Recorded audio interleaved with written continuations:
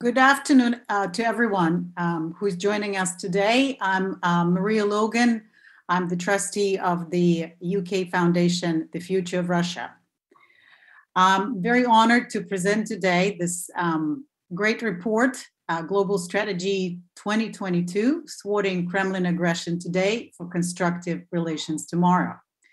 This is the work of several years by an outstanding team of Russian experts at the Atlantic Council. The Future of Russia Foundation, that I represent here today, is honored to be part of this collaborative effort.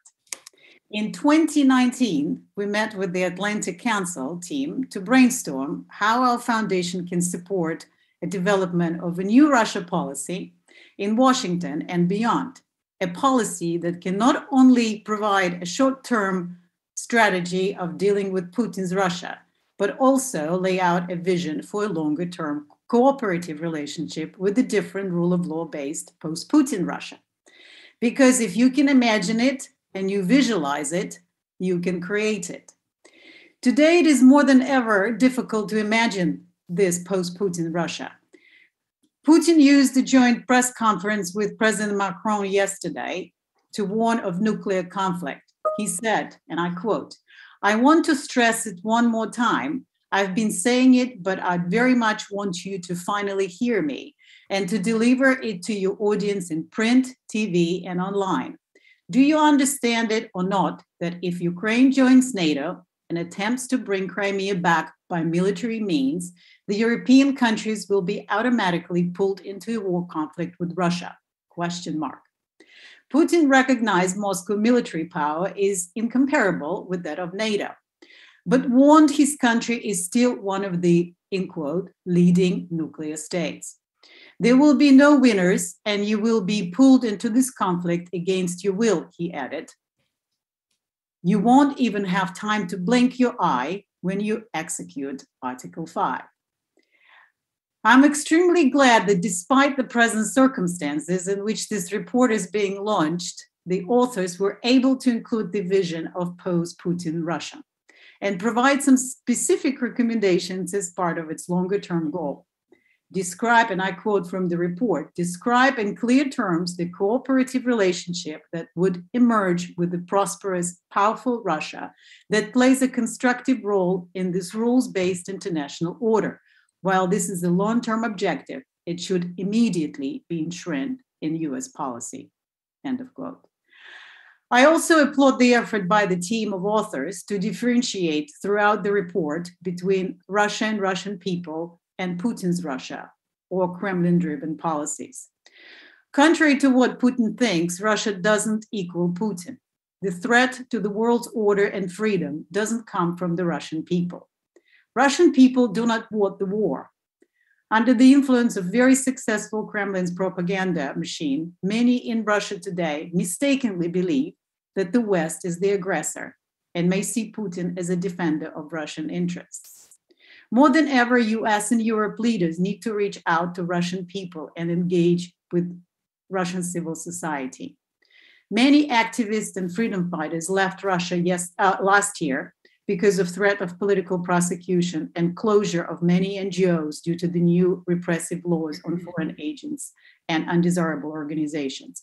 But these brave freedom fighters are among us today and are ready to continue the dialogue, which provides a path to this new cooperative approach with future of Russia. I now turn to Damon Wilson, who was part of that 2019 brainstorming. And I'm so glad that he could um, provide a forward for this report. And I turn to you, Damon. Thank you.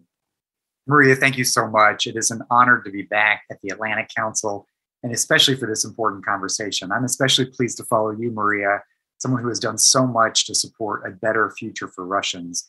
And you're right, I'm back in part because several years mm. ago it was sort of your creativity in helping to think about envisioning a post Putin Russia and how to help imagine what that looks like. And I think that's a powerful exercise. So we're gathered today not just for the launch of an important strategy paper on Russia, but I think to tap this extraordinary brain trust the Council has lined up that you'll hear from on how to support Ukraine in defending its ability to de- determine its own future, and in doing so, how to put relations with the people of Russia on a better footing as well. So I'm, I'm rereading a book by Ned board member and uh, author Anne Applebaum, Red Famine, Stalin's War on Ukraine. It is, of course, about the Holodomor, the great famine that killed millions of Ukrainians in 1932 and 33. And the book begins with the, the, the simple sentence The warning signs were ample. Those words resonate today. The warning signs are ample. So while Putin threatens to follow Stalin in his approach to Ukraine, he's lost sight of the fact that despite efforts to repress, even deny Ukrainian identity, it thrives. Whether surviving the Great Famine or the 92% of the electorate voting overwhelmingly for an independent Ukraine in 1992, whether the Great Mobilization overturning a stolen election in the Orange Revolution, or the Euromaidan protests and the Revolution of Dignity, or mobilizing people in support of their nation in the wake of Crimea's annexation and the invasion of Donbass. The Ukrainian people have shown the world that they have a say in their own future, often whether others like it or not. So, in this crisis, we can count on Ukrainians to play their role. The question for our speakers today is how does the democratic West best play its role? So, this conversation is about how a long term strategic approach coming out of this strategy drive and the SCO crossing to the Atlantic Council can inform choices today at a critical juncture that will shape the world we live in, underscoring the stakes. So, the core of this report is that by thwarting Kremlin aggression today, we pave the way for pursuing constructive relations with Russia tomorrow. So, I opened my forward to this report recalling the last time Beijing hosted an Olympics in August 2008, during which Russia invaded Georgia. There's an eerie echo of 2008 as Beijing hosts the Winter Olympics.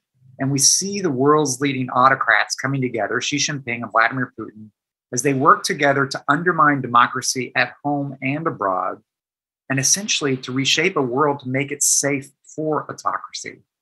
And that's what's at stake. And I think this time policymakers on both sides of the Atlantic, they've learned a bit. Indeed, there's a long history of debate among policymakers about the best strategy for Russia. And it's often characterized among those considered hawks and those considered soft on Russia. But that's a little lazy intellectually. And I think this effort, by, led by Ambassador John Herbst and this top flight group of co authors, it bridges that divide by underscoring that a tough approach now in Ukraine is the best approach to a more constructive Russia in the future. So, indeed, as we put the people of Ukraine front and center in our considerations, how can we pursue a policy that also puts the people of Russia, who deserve so much better, front and center?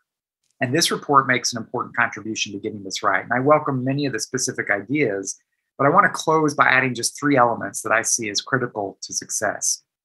First, it is people, civil society in particular. It's their mobilization that will be among the most effective means to deter Kremlin aggression. And we need to keep them and our support for them front and center in any long term strategy. After all, it's their determination and ingenuity, along with the, our long track record of support, that's made civil society one of the success stories of Ukraine's uneven democratic record.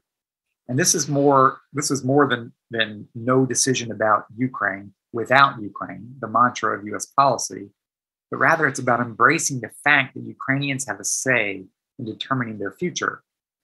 Second, given Putin's track record, deterrence today may require more than even the strong responses to Russian aggression proposed in this report. It may require creative thinking and policies to disrupt Vladimir Putin's Russia, increasing the cost of his actions to date rather than waiting for escalation. We're in the middle of a hybrid war already. Third, the message of our commitment to stand by the Russian people, it has to remain front and center as coverage li- likes to boil this down to Russia versus Ukraine, or more likely Russia versus the United States. And outreach to the Russian people now is key to laying the groundwork for a future, more constructive relationship, relationship with a Russia that will respect the rule of law.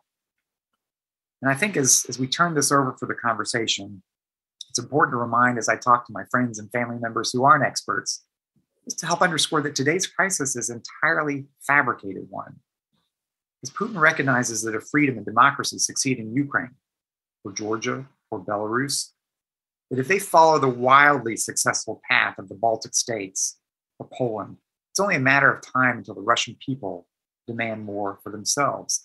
So today's conflict is therefore also about power inside Russia.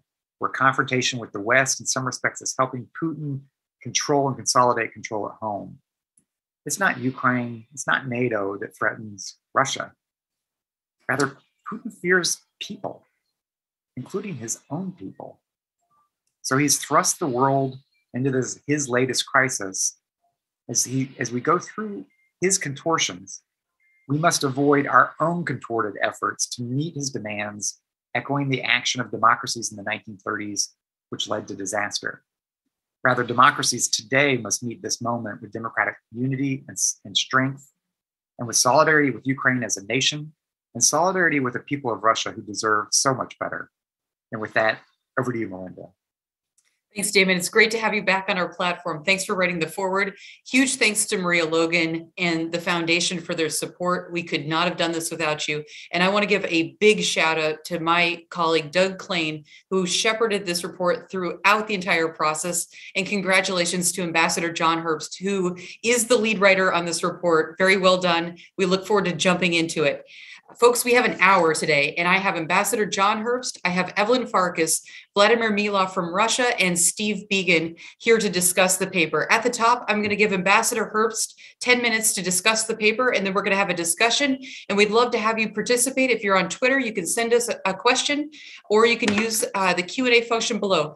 Ambassador Herbst, again, congratulations on this great paper. Could you please give us uh, a, a, summary and, and your top line judgments, and then we'll jump into a conversation. The floor is yours. Okay, Melinda, thank you very much. First, I need to thank all those who made this paper possible.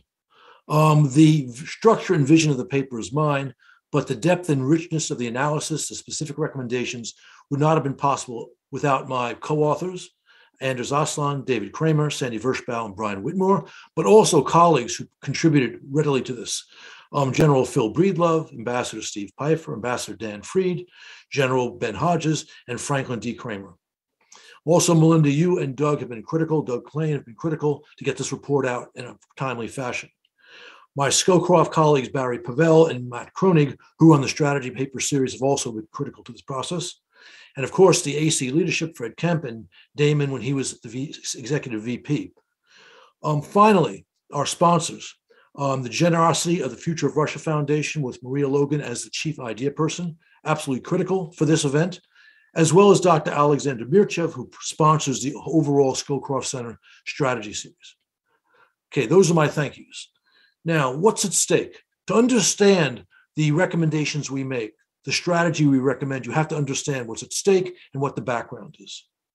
This, the background is this the international institutions that the US helped establish after World War II and then helped refurbish at the end of the Cold War have led to an unprecedented period of peace, stability, prosperity in global history. Absolutely unprecedented. Since 1945, there have been no great power wars in Europe or anywhere else.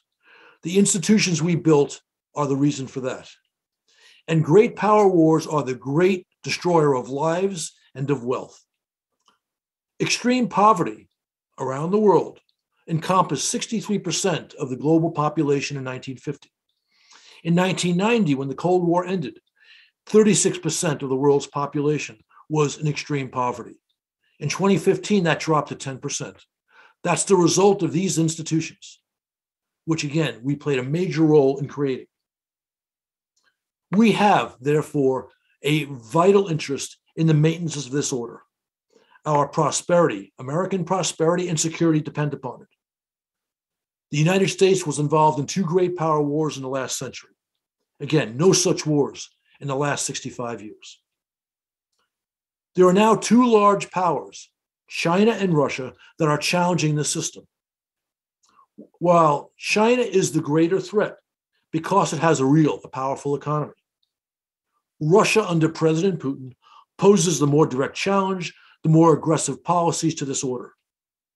And he, of course, or rather Russia, of course, is a nuclear power peer of the United States.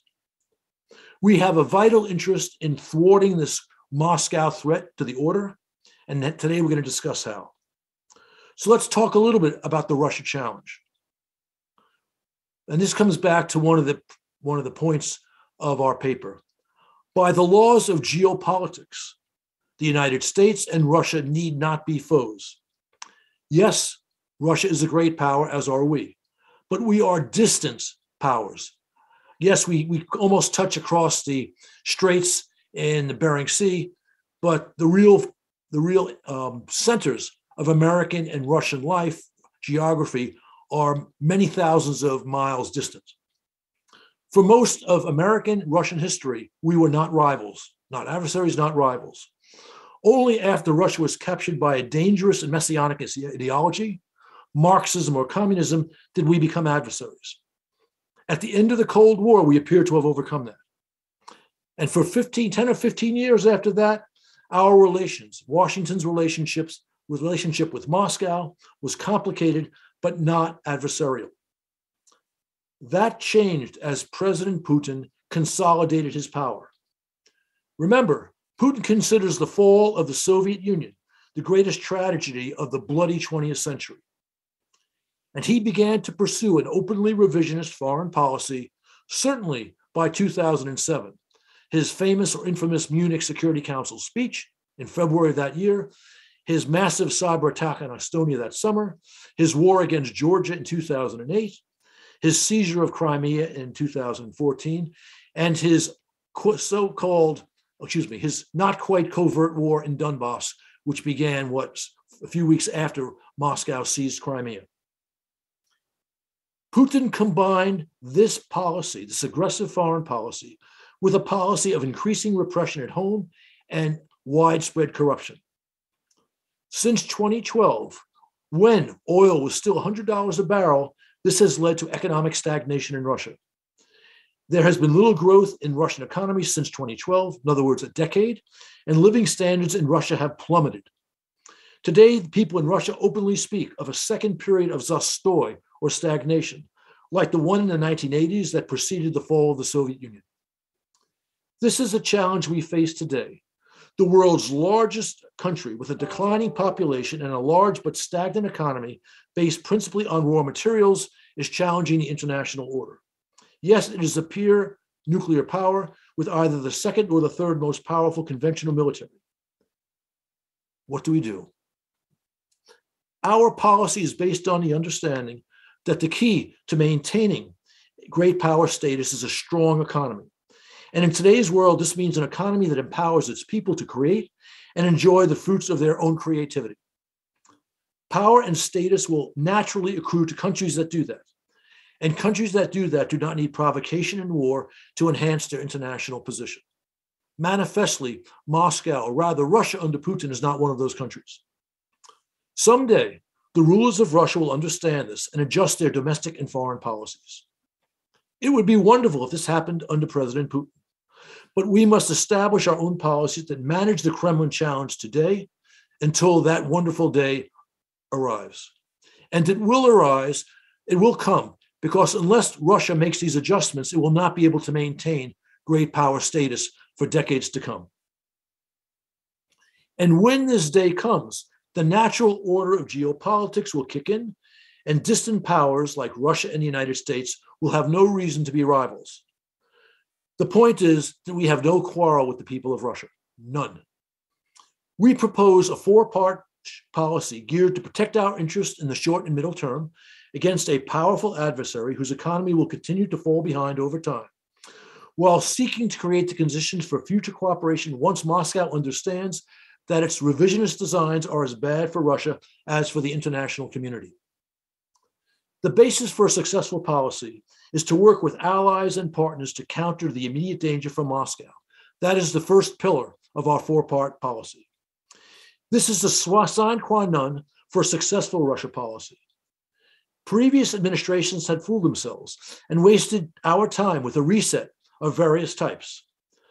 The Biden team has come up with the fanciful notion that we could somehow park our relationship with Moscow and establish, quote unquote, stable and predictable relations with a serial provocateur. In practical terms, this first element of our strategy means bolstering NATO's northeastern flank, beefing up a NATO presence, a naval presence in the Black Sea, and backing democracy movements from Belarus to Venezuela and including in Russia.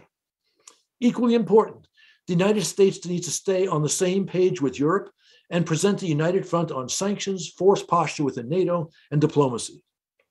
But the US must do this today as it did it during the Cold War, not by catering to the weakest policy instincts on the continent, but by persuading its allies and partners to adopt the strong but necessary policies that serve the interests of all in the transatlantic community. The ongoing crisis created by Putin's threat to launch a new invasion of Ukraine has shown how difficult but crucial this is. The second element of our policy follows directly from the first. Establish clear red lines on Moscow's behavior. And when those red lines are crossed, act swiftly. Again, that starts with the current crisis over Ukraine. Ukraine needs more weapons, more advanced weapons, such as Stingers, uh, and defense capabilities against air and sea attack. Washington should hit Moscow with the most effective sanctions possible against Moscow's financial system and its oligarchs if it escalates in Ukraine. And the United States should do more to, to expose the corruption of the Russian regime, whether that means declassifying information about Putin's wealth in the West or substantially boosting funding for Voice of America and Radio Free Europe, Radio Liberty, to get the word out to the Russian people. We should also use our contacts with Russian um, diaspora, Russian uh, opponents to make this, to get this information out within Russia. The United States should also work to exploit any friction between Russia and China, including territorial disputes, even as Putin and Xi have sought to cement a partnership in recent days. And following up on a point that Damon highlighted, our policy should impose sanctions for ongoing, additional sanctions for ongoing Russian aggression, not just in Donbass, but also in Georgia. In other words, we should seek to make current Russian levels of aggression increasingly unpalatable. The third element of our policy is practical and immediate. Work together with Moscow where possible. Even under Mr. Putin, the US and Russia have shared interests, for example, in arms control, in halting the spread of Islamic terrorism, especially in Central Asia, in containing COVID 19. There are opportunities to partner on the future of Afghanistan and the future of our planet as climate change accelerates. Such cooperation may lead to discrete gains, but also set precedents for much more cooperative relationships with Moscow in the future.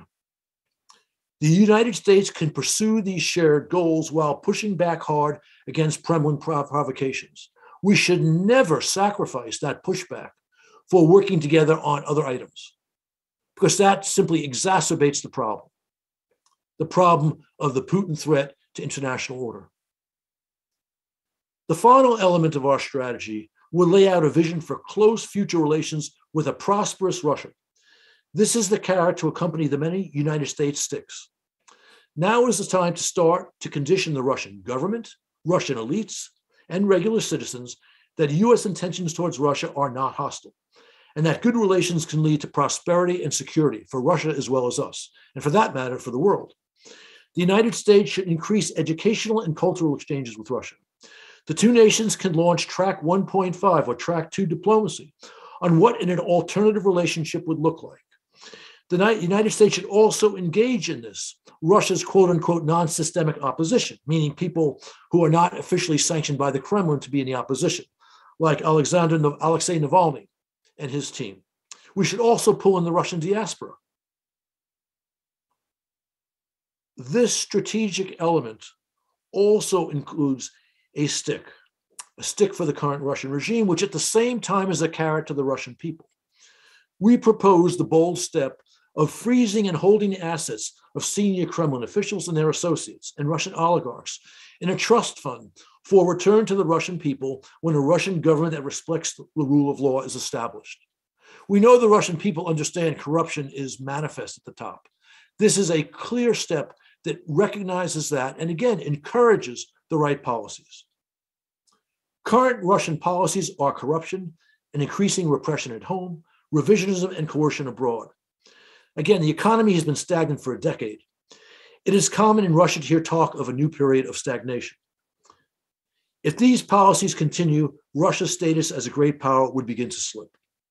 This vision we are offering is of a Russia where its talented citizenry, citizenry would profit from its own exertions and create a vibrant new economy.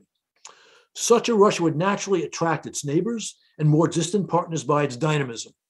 There would be no need to exert influence by coercion. It may seem that our policy uh, laid out here is far fetched. Eastern Europe is now on war footing as Moscow threatens a new invasion of Ukraine. But a peaceful, prosperous Russia is a real possibility. We have seen indications in Russia today that this is well understood. You've had pushback against Moscow's threats against Ukraine from a group of Russian intellectuals. But I would say, even more importantly, was a statement recently issued by retired Colonel General Leonid Ivashov, a man known as a tough guy on security, a renowned patriot, heading at the head of the Russia all off, excuse me, the All Russian Officers Assembly. In his remarkable statement, he says that Putin should not invade Ukraine, that he says correctly that Ukraine and, and NATO pose no threat to Russia. The real threats to Russia come from its internal policies. The fact that a hardliner like General Ivashov shares our vision says to me that, in fact, there can be a new, positive, deeply satisfying US Russian relationship once Putin dispenses with his, his, his foreign policy revisionism and repression at home. Thank you. Thanks a lot, John. There's a lot to chew on there. Uh, let me ask you one more question, then I'm going to bring our panel in. Uh, so we've tried the reset, we've tried isolation, we've tried sanctioning Russia, and nothing uh, seems to work. And we seem to go back and forth on these. You've laid out a lot of different things, but uh, put aside those specifics uh, for a second. What's different about your strategy?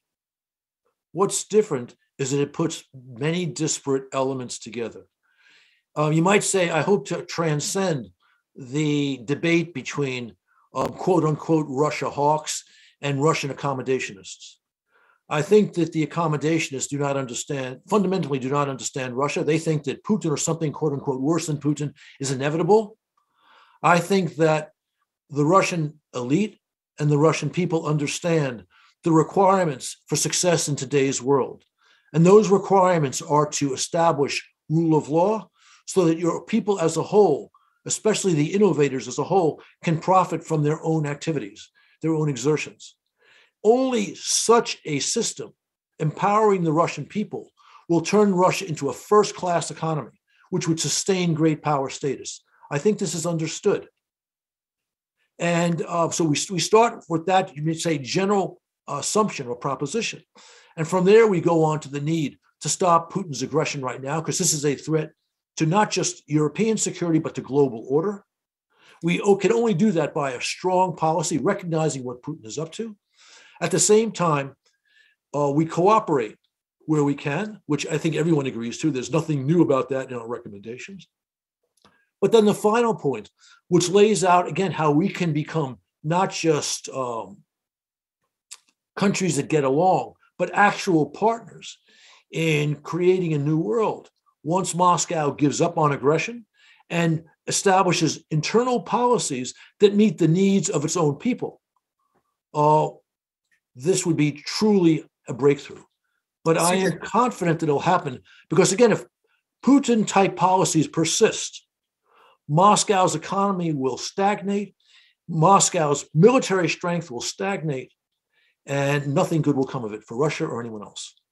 Thanks, John. Appreciate that. Okay, let's jump in. We are so privileged to have Dr. Evelyn Farkas, a former U.S. Deputy Assistant Secretary of Defense for Russia, Ukraine, and Eurasia with us, Stephen Biegun, the former U.S. Deputy uh, Deputy Secretary of State, and Vladimir Milov, a Russian opposition politician.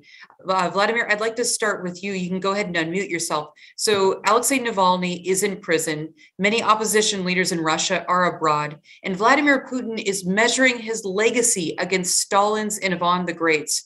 Is there any hope for domestic reform in Russia, or will the world pivot to containing Russia's external threats as it did during the Soviet period? Uh, thank you very much. I'm very pleased to be part of such a distinguished panel discussing a very important document and uh, very important ideas. Uh, Navalny in prison and uh, many opposition leaders uh, either persecuted or in exile, it's not the end of story. And I have to say that to me, it's more a symptom of Vladimir Putin being cornered, which is why I very much value what the colleagues have to say about reaching out directly to Russian civil society, because I sense a growing understanding in the West uh, that uh, Russian people are not an enemy.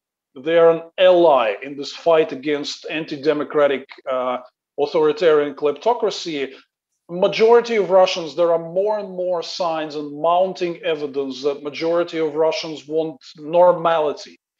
They want to live in a peaceful democracy which is not at odds with its neighbors in the rest of the world, but which is at peace with everybody, trading with everybody, opening borders, and uh, not uh, challenging the peaceful rule-based order. Russians want that despite all this propaganda, imperialist hype, even in Putin's environment, you can see a lot of opinion polling data which will tell you just that, uh, that that Russians do not want confrontation. They want peace. They want prosperity. Uh, that uh, very much coincides with what John has been saying and with what colleagues have written in the paper.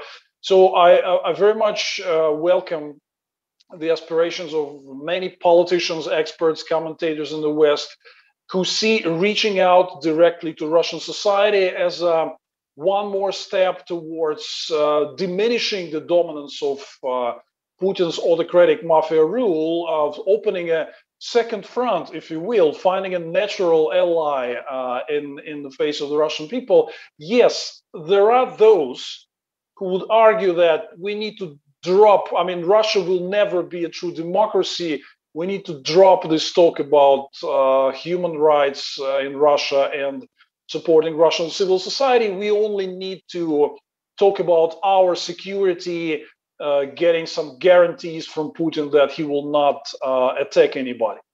But I want to stress uh, before the war in Georgia broke out in 2008, for several years, me and a lot of colleagues, late Boris Nemtsov and many others, we have been sending you warnings please do not take the story of a crackdown on human rights in Russia, of imprisonment of Khodorkovsky, whatever we had at this po- point. We have been saying, do not take it as an internal Russian issue. When Putin tastes blood, when he feels this taste of lawlessness, he will move on to export this lawless behavior to the international stage. He will not stop at home.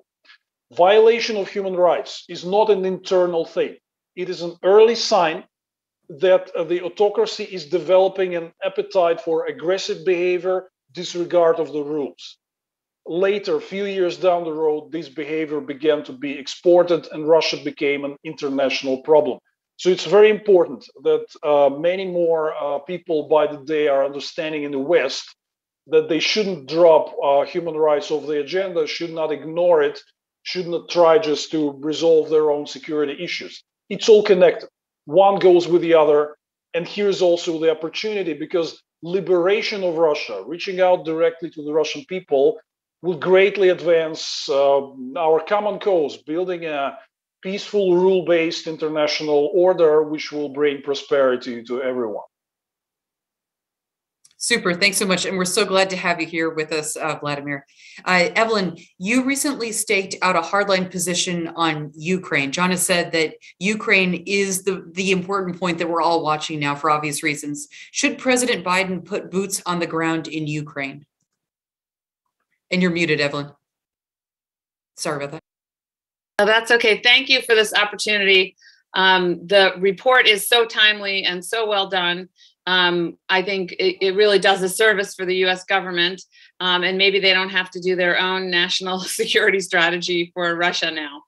Um, I want to just so underline some of the points that um, Vladimir made, and I'm very honored to appear with him again.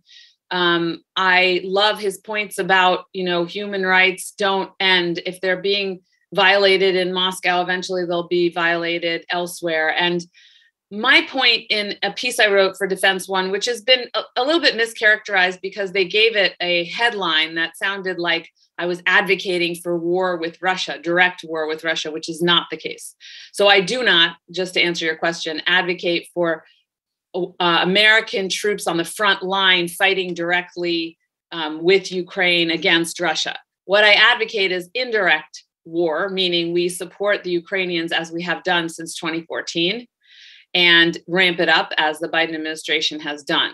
But my overall point is, you know, it's it's it's again repeating what many other colleagues have said so many times. But in this, you know, um, weird, busy media world, you have to constantly repeat things that sometimes seem obvious, like "Si vis pacem para bellum." If you want peace, prepare for war. That's what deterrence is all about. You have to scare the other guy into thinking if he moves militarily against you, he will receive a response that we, will be painful for him. And again, just to echo what Vladimir just said, um, if we don't have a response, an adequate and strong response of Vladimir Putin in the context of Ukraine, and by defining strong, I don't mean necessarily military. Uh, you know, there are many ways to address the situation that we're in right now. The military deterrence is just one part of it, and maybe at the end of the day, it won't be the thing that actually unlocks the the, the puzzle and allows us to, you know, come down from this heightened state of alert because of the crisis that Vladimir Putin has put put us into. But my main point is that if we don't stand up right now for Ukraine, we will not be, we will then be essentially surrendering not just Ukraine, but the security of Europe and as Damon said, the international order. I mean, there's there's nothing less than that at stake here. Great. Thanks. Thanks, Evelyn. You got to watch those editors. They always love to write uh, inflammatory titles. Uh, it's the oldest trick in the book. Uh, Steve, thank you so much for being here with us today. It's, it's great to see you. You were the deputy uh, deputy secretary of state in the much maligned Trump presidency, and despite some peculiarities in Russia policy, things were pretty quiet on your watch. What changed? Well, thank you, Melinda. Let me start by uh, uh, thanking the other uh, commentators, uh, excellent remarks, but especially John and his team for putting together a great report. John, uh, I, what I especially like about your report is the uh, the way you break it into four different uh, areas of priority, and you don't do it sequentially. We have to we have to do these simultaneously. Of course, in your fourth area where we're talking about a better future for U.S.-Russian relations, that's hard to envision. Uh, certainly, it, it would be impossible to execute at this point, but the conversation itself should continue a lot of great uh, food for thought in the report, uh, most of which I fully agree with, and uh, and thank you for this contribution uh, to the current debate. You know, to answer your question, Melinda, um, first I have to be uh, I have to be fair to the current administration that we didn't face anything of the of the magnitude of what what they're facing right now, at least in the case of the Russian Federation. And so, uh, you know, it, it wouldn't be fair for me to compare their response uh, to, to anything that, uh, that the previous administration did by virtue of the fact that the circumstances have changed so dramatically. But um, you know, in the in the broader U.S.-Russian relationship, for which I did take a significant amount of responsibility in the administration, uh, we did test some of the concepts that were included in in uh, in the uh, that are included in the Atlantic Council paper. And I think I, I, could say, on balance, some of them paid dividends, although some of them uh, were abject failures. So, for example, uh, my first position in the administration was actually as the lead envoy for North Korea. I had an excellent and very cooperative relationship with my counterpart, Deputy Foreign Minister uh, in the Ministry of Foreign Affairs. We worked very closely together. Um, we uh, we shared uh, information. We collaborated where possible. Where, where we needed to disagree, we would explain uh, respectfully uh, why we felt a different approach was necessary we sustained cooperation uh, for uh, nearly two and a half years on North Korea policy very successfully, and it probably was one of the highlights in in the in the, in the category of, of the Atlantic Council paper of working together on where our interests may align. We had uh, less success in Afghanistan, but uh, my uh, counterpart, the special envoy for Afghanistan, did maintain as well close rela- uh, close contact with his Russian counterpart uh, and uh, and it reflected a shared concern about Afghanistan rather than a shared approach to Afghanistan. But nonetheless, I think it paid some dividends over the course of, of the administration. Um, we uh, we cooperated, uh, particularly the United States cooperated with Russia during the uh, uh, early wave of the COVID nineteen pandemic. Um, we actually shipped ventilators to the Russian people from the surplus that the United States quickly developed. And while this wasn't universally welcomed, it was an important sign of what Vladimir Milov was describing, which is the very importance of, of soft power and contact with the Russian people. And I think, on balance, it was beneficial uh, to the United States' interest to show that level of generosity with the Russian Federation. Certainly, there was nothing to be gained from uh, from uh, failing to help Russia in in the midst of such a terrible pandemic. And lastly, uh, we tried but were unsuccessful in renegotiating the uh, New START agreement. Our goal was to uh, to uh, add some add some content to it, to a suspension of the of uh, uh, production of warheads. We simply ran out of time. We you know probably started too late. And while there was some early Russian interest in discussing the issues that we had tabled, um, in the end, the Biden administration uh, had to inherit a, a arms control treaty with just a few weeks left in its life and made it, its own decision on the extension for a five-year period. Some areas uh, that we engaged closely with the Russians and and uh, and I would say saw absolutely no success include Belarus, where early on in the conflict, uh, I was sent by the Secretary of State to meet with uh, Svetlana Tsikhanouskaya. Uh, she was by then in Vilnius, just a few weeks after the election was stolen by Lukashenko. But I made my next stop, uh, Moscow, to have a, a, candid discussion with the Russians that it would be a mistake for this to be a reprise of, of uh, what happened in Ukraine. I have to say that uh, I was never overly optimistic that that would produce a positive outcome. It was, at least initially, some dimensions of constructive discussion where we we discussed the the fact that the Belarusian people left to freely choose their own leader would not necessarily and very unlikely even uh, pick a hostile uh, relationship with Russia as part of their leadership selection. Uh, I was told off the record by uh, one official that uh, in practice the outcome we were describing uh, could probably work, but in principle it was completely unacceptable to the Kremlin. The notion of allowing people to choose their own leader was simply hitting too close to home, and it was a fruitless effort. And in fact, in many of these discussions, I also have to say that our discussions at the Department of State were with the Ministry of Foreign Affairs, but in very few cases was the Ministry of Foreign Affairs actually the responsible author for the policies that we were undertaking. The other areas of, of deep discord were the Navalny poisoning, um, where, uh, quite frankly, our Russian interlocutors had no answer. Uh, and, and, and you know, the reflexive defense against it eventually became uh, the talking point. But initially, I think even even uh, many Russian officials were appalled at the uh, at the uh, the brutal overreach of trying to poison uh, Russia's leading opposition figure, and and of course the election interference. I wouldn't say we necessarily had success, although we did challenge the Russians very directly and at a very high level. We didn't have enormous success in persuading them uh, to to stay out of our elections, but we did have significant success in 2020 in keeping them out of our elections, and that too is something that I'm quite proud of. So we did have a way to engage with the with the Russian government and Russian counterparts, and I, and I, I think it was very important. And this is why I go back to the Atlantic Council report that these these these recommendations should not be viewed sequentially because we do have to walk and chew gum at the same time. I do not believe the total isolation of either the Russian government or the Russian society benefits us. We, of course, have to do the things that are mentioned early in the report. We have to take a very, very tough line on deterring misbehavior, and we have to be very clear on what we find unacceptable uh, in the conduct of, of Moscow in, uh, in, in uh, geopolitics. But at the same time, uh, uh, it's also my view that if we don't engage with the Russian government, we actually provide more room for maneuver for the regime than we do for ourselves. I understand the value of, of isolating them on principle. But I have to say, my experience as deputy secretary was we could at least get a little bit further inside of their thinking through engagement. But that's not the most important form of engagement right now. That's a necessity, in my view, in certain areas. But the most important is the one that that uh, has been mentioned several times today, which is engagement with the Russian people themselves.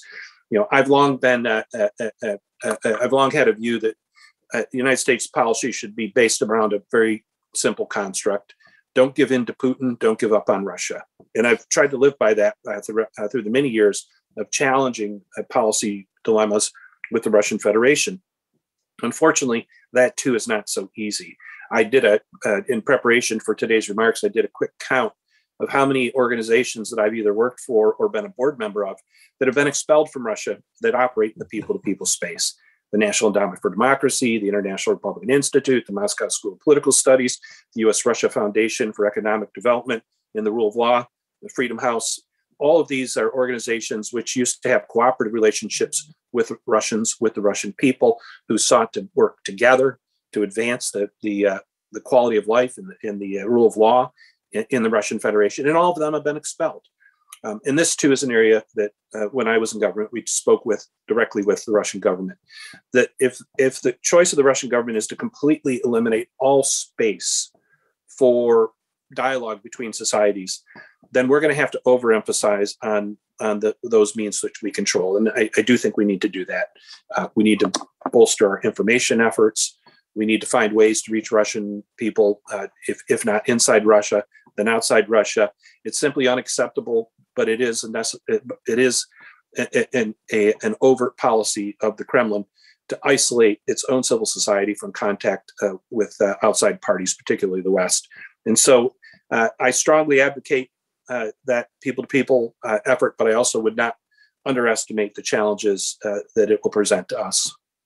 Super. Thank you so much, Steve. You gave us so much to chew over. I was thinking about Bard College as you were going through the list as well. It's it's almost impossible uh, to have those people to people ties. Is the only solution basically to, for Americans and Russian citizens to be in third party countries to do this kind of work now, or is well, there another creative way to get around that? That was a workaround for a while, Melinda, but uh, the Russian government has revised the undesirable foreign organizations law to criminalize that kind of interaction outside the Russian borders as well. So it comes at some risk to our, our Russian friends. Um, you know, Russia is is not a monolithic nation. There's there's uh, uh, you know a, a, wide variety of views, and we've seen some of those expressed has been discussed here today uh, in terms of um, in terms of uh, opposition to the aggression in Ukraine. What I'd say is we have to we have we have to find different ways to speak to the Russian people. We can do that through um, through third part third country contact for sure. It shouldn't be we shouldn't we shouldn't slink around and do that. It should be as something that we do as as a uh, as an open matter. Uh, you know, working closely with Damon at the National Endowment for Democracy, we do seek to continue to provide support for Russians seeking to advocate for democracy, and I think that's successful. I think we have to use our information tools too, though, much more effectively. And here uh, it includes the clarity of the messages from our own government, uh, and and I would hope that we can have a unified U.S. government position around this. Uh, but also, uh, it, it, it uh, it's going to require us to use uh, information tools like RFERL. But not surprisingly, they're under a, a huge pressure. And you, you mentioned Bard College is the the blasphemous banning of Memorial I mean, it's just such a travesty that Memorial, an organization, a proud organization that is truly at heart serving the Russian people, has been found to be a foreign agent in Russia. Is just is just frankly pathetic. I couldn't agree with you more, Evelyn. Let's bring you back into this. So the Biden administration has gone farther than any other in declassifying intelligence, and I'm talking about the the threat uh, around Ukraine again. Was that the right thing to do? And is there any downside to declassifying this intelligence? And should we have done this before? Well, so Melinda, the the the damage, the the risk, of course, is as an intelligence community that you give away how you you know how you got garnered the information right? So that's the risk.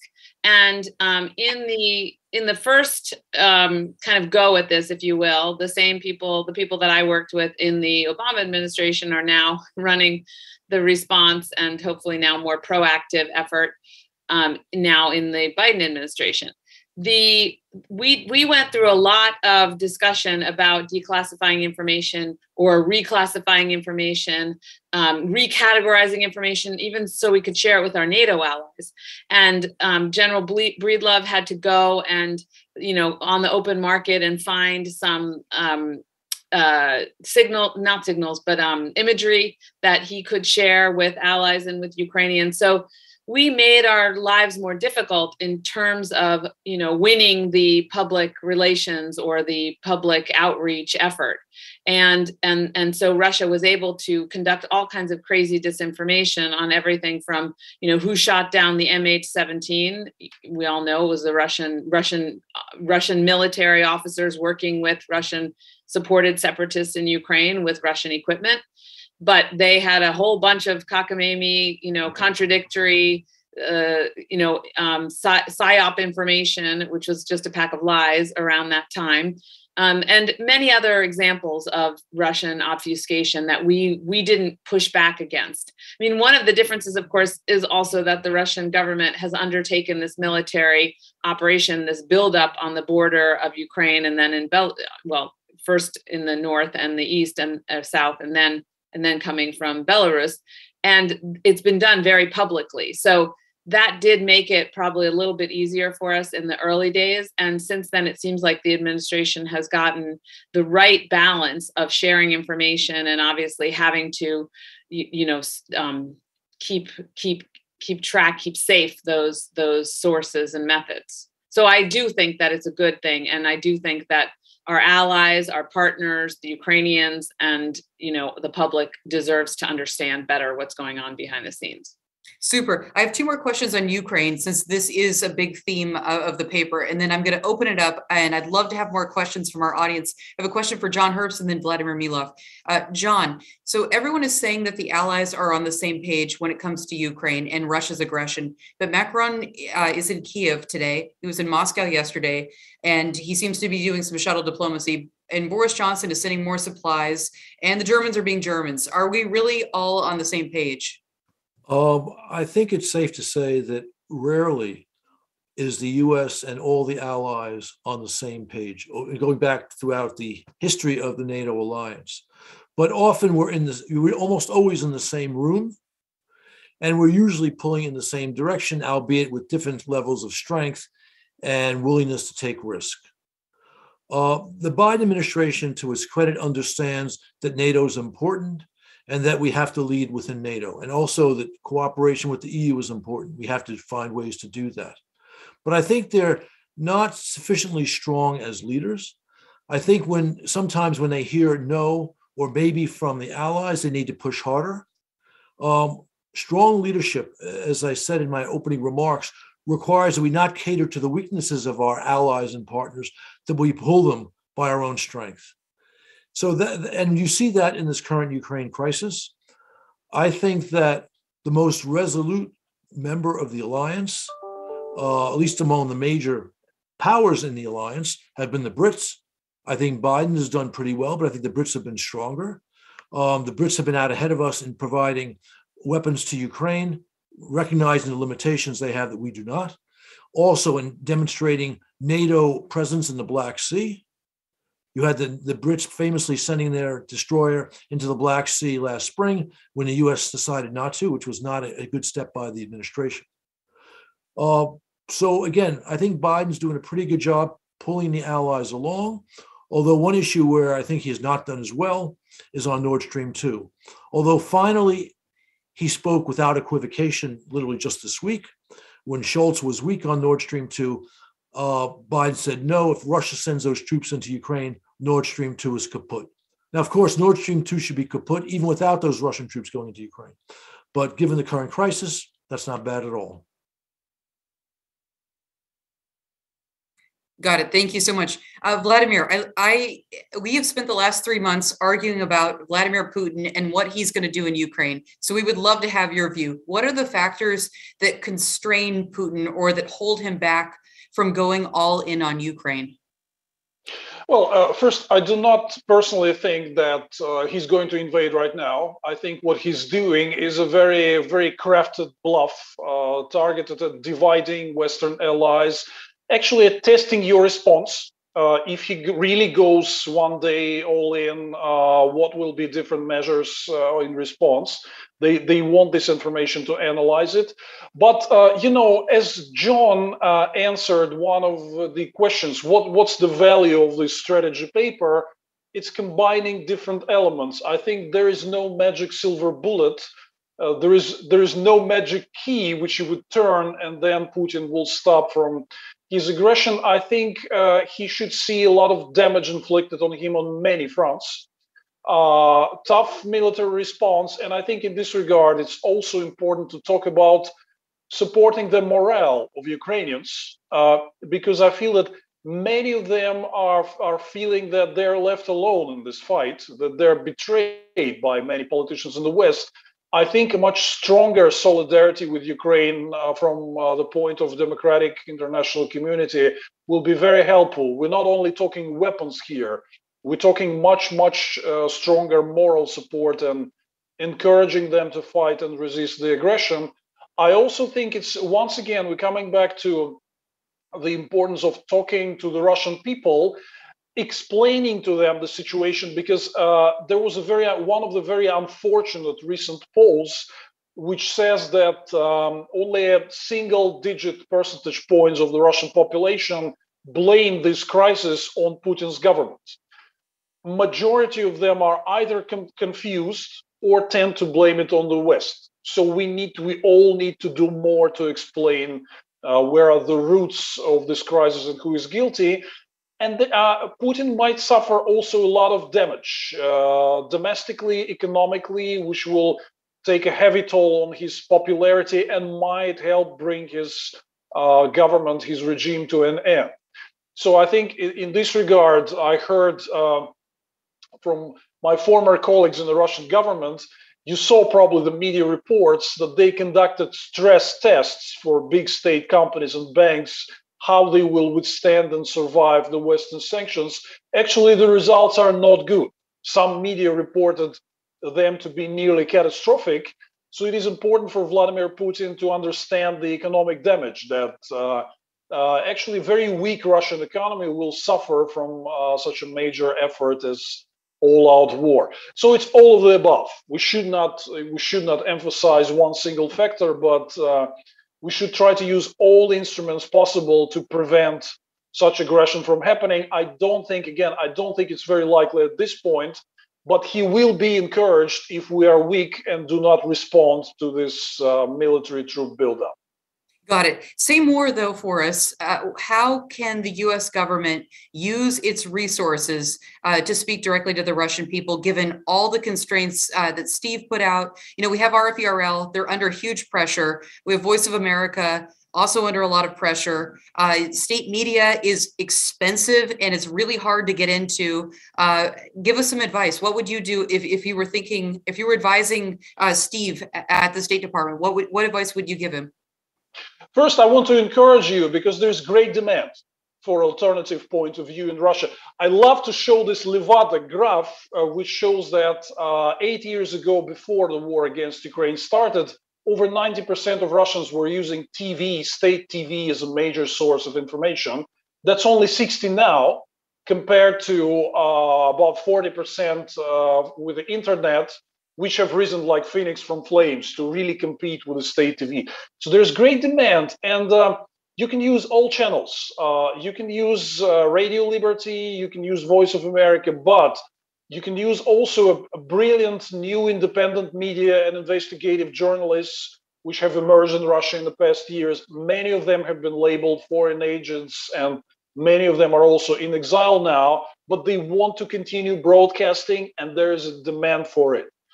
Same thing about us, politicians. Uh, like Navalny Live channel has a combined monthly audience over 10 million people. That's comparable to the channel one of the Russian television. So if you do support the, you know, grassroots broadcasting from uh, independent civil society members, journalists, investigators, and uh, politicians who are currently in exile, we are all committed to continue broadcasting and having this people to people communication, uh, that is one thing that you can also support apart from the state media. So, again, it's all of the above sort of thing, which altogether might produce a very strong uh, information messaging that will open the eyes of the people uh, and uh, tell them the truth. Got it. Say more about YouTube. I know there's a cat and mouse game with YouTube. Opposition politicians in Russia are using YouTube to speak to many, many people. Uh, is the the Russian are the Russian authorities cracking down on YouTube? How close are they to cracking down on the platform? Uh, Putin wants to shut down YouTube badly, uh, but there is a problem uh, because YouTube isn't. Uh, I think he overslept it and let it go too far. YouTube is an extremely popular platform for dozens of millions of ordinary Russians, many of them absolutely apolitical.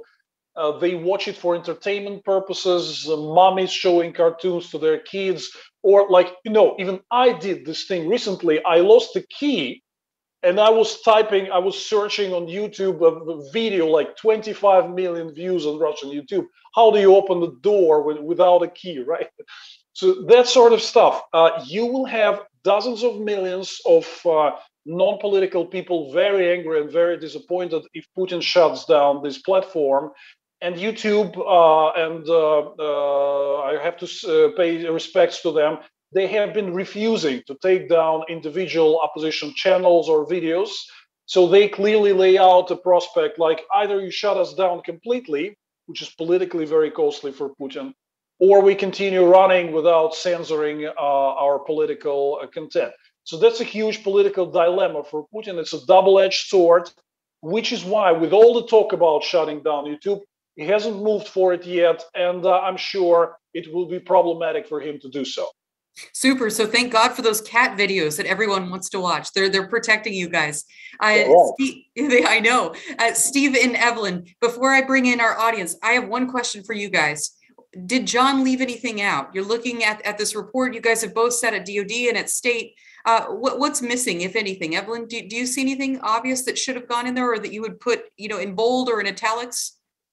I mean, the only thing that maybe I would spend a little more time on would be rallying the global community to draw attention to the perf- perfidy, the perfidious nature of the current government in Russia um, what do I mean by that? You know, go do what our ambassador did. Go to the United Nations regularly. Try to pass resolutions through through the General Assembly condemning R- Russia not just for what they're doing with their forces, but the human rights violations in Russia and the and and also outside of Russia, the extraterritorial killings. You know, the whole host of international crimes that have been conducted by this government. And I would make it so that leaders in Africa who have maybe Russians showing up offering them things that are very enticing have another picture that they have a context that oh there might be some problem. I might suffer you know some some kind of diplomatic condemnation or my reputation might suffer or my people might look down on me for taking assistance from this government. So again it's not the thing that's going to you know cause us to finally get rid of that horrible regime you know as vladimir said it's many things. But that would be one thing that maybe i would spend a little more time on the global diplomatic campaign. Super that's that's a great suggestion. How about you steve? I, I certainly uh, agree with uh, everything Evelyn said. I'd complement that by uh, similar efforts domestically. I think uh, thought leaders and, and policy experts and political leaders, especially above all, uh, uh, need to need to do more work to lay out the stakes and lay out the case and to build a sense of national unity. Because if there's anything that's going to deter uh, the regime in, in the Kremlin from invading Ukraine, or maybe said the other way, if there's anything that's going to invite them to, it's a sense that there's a deep division inside Western societies that they can exploit. So I think that's one. A second uh, is that I think uh, leaders have to level with their populations as part of that, that there will be costs associated with standing up to this. Um, it will uh, do us no good if we get the German chancellor supportive of us to a certain extent, and then he loses the German people. Um, that that uh, can be addressed by uh, full candor, not to undermine the position or leadership of Western leaders, but to prepare the publics for what may be to come. That too, I think, is an effective complement to the deterrent, and one that's uh, slightly uh, uh, off those uh, recommendations is building capacity here in the United States of America uh, uh, for better understanding of Russian affairs, for for better engagement with Russia, we need to promote uh, uh, wherever possible more education programs, exchange programs, area stud- studies programs. We allowed Russian studies in the United States to atrophy in the years, in the decades since 1991. All of us are are uh, specialists or have lived uh, lived in Russia or are Russian in the case of Vladimir, um, but uh, we're losing that capacity, and we we need to re-energize our own society. Absolutely. I couldn't agree more, Steve. When I was at Georgetown in 2010, I had to beg to study Russian. Uh, it, it, it, was really, really bad. So I, I, couldn't agree with you more about uh, boosting the, those uh, the Russia and Eurasia study programs across the country. Okay, you can go ahead and uh, unmute John, Steve, you're, you're unmuted, Evelyn, you're unmuted, Vladimir, uh, you can unmute. We have 10 minutes and lots of questions. And this is the fun part. I'm gonna ask you a question and you get two, maybe three sentences. Uh, so here we go, we call this blitz round. John, John is an old hand at this. Uh, we want to get through as many questions as we can. So first question, John, this is to you from Dr. Harlan Ullman. He says, as you know, every major Russian military exercise finishes with a nuclear scenario. It would appear, however, that the West would be surprised if this repeats. Why is that? And what should our response if Putin extends the exercise, which he may uh, well do? Look, um, the first instance right now is you have to make sure that Moscow do all we can to make sure Moscow does not send those troops into Ukraine. But secondly, we have once we get past this crisis, we have to map out a plan of action to uh, penalize Moscow, maybe with sanctions, maybe some other way, for the provocation, not just aggression. Great, super. Uh, Vladimir, I have a question for you from a gentleman named Lou. He says, uh, Tell me more about the Russian Orthodox Church and the possibility of war with Ukraine. What is the attitude of the Russian Orthodox Church uh, in Ukraine uh, towards the war? Uh, it's really not too relevant because the church is not too popular with the Russian population. Like many factors, the attendance of churches on holidays like Christmas or Easter is just a single digit percentage points of the population. According to many polls like Pew Research, less than 20% of the Russians uh, say that religion plays important role in, in uh, their lives. And church have not been too vocal on this uh, standoff as a matter of fact, Russian propaganda, including the church, downplay Russian government's involvement in uh, what's going on. So uh, the church is sticking it head, its head down and uh, uh not commenting too much. I don't think it will have a lot of say if uh, anything happens. That's interesting. It wasn't like that in 2014. Uh, they played a, a, more outspoken role. That's really interesting. Okay, Evelyn, question for you. You get a good one from Larry. Does Russia think its collaboration with China will be a better path for it than looking to Europe and the US?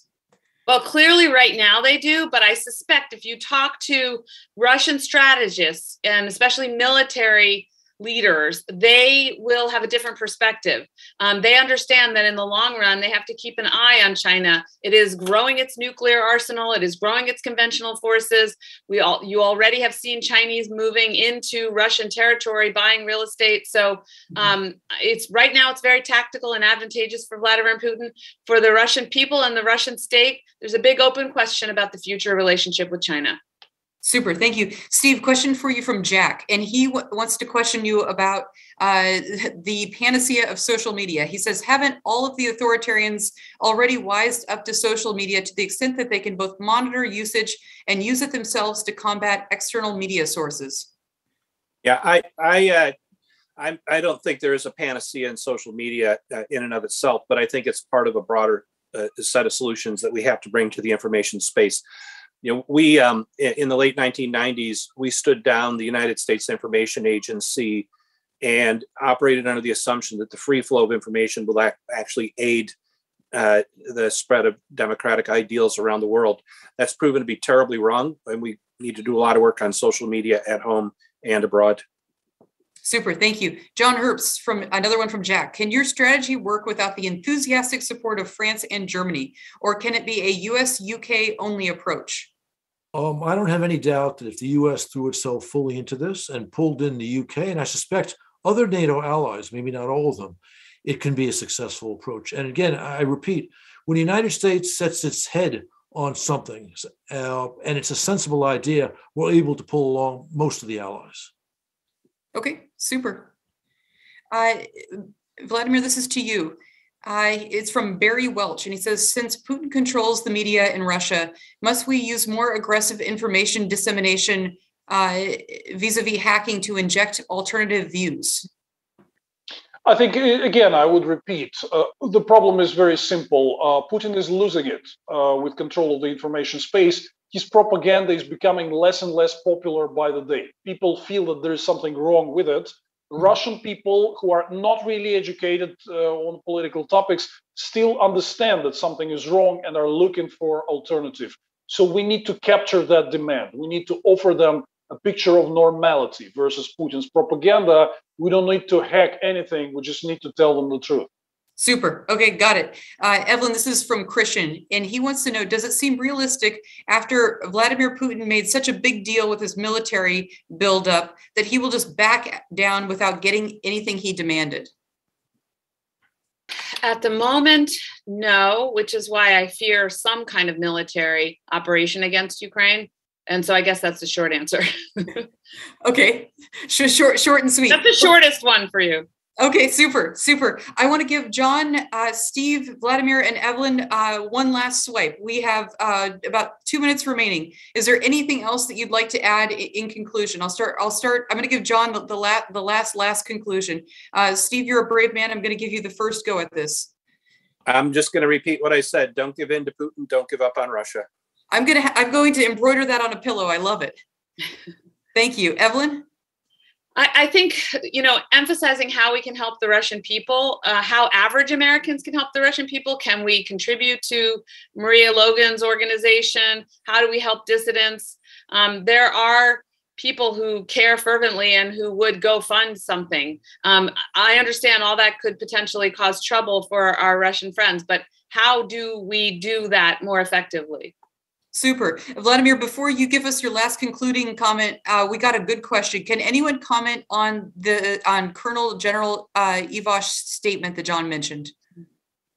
Yeah, uh, he's not, Ivashov is not too influential, uh, so is this group of uh, retired officers, but this reflects the general mood of the army. The army does not want to go to war for no reason.